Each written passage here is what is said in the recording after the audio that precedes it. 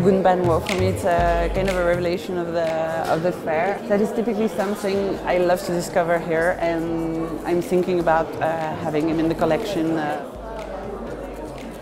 So this series from Lebohang Kganye, I had never seen this series. I love the Afronova Gallery and the way they're always very dynamic and presenting very specific works.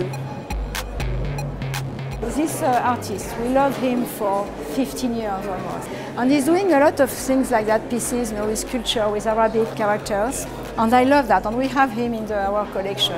Uh, we decided to come to 154 because we believe it to be a, the correct space to exhibit Munia's work and to do a bit more of an experimental approach to the traditional white cube gallery model.